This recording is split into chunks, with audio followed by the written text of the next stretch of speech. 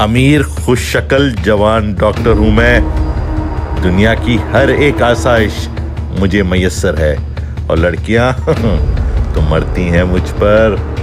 सिर्फ़ एक चुपता हुआ कांटा है ज़िंदगी में, उसे भी जल्दी रास्ते से हटा दूँगा।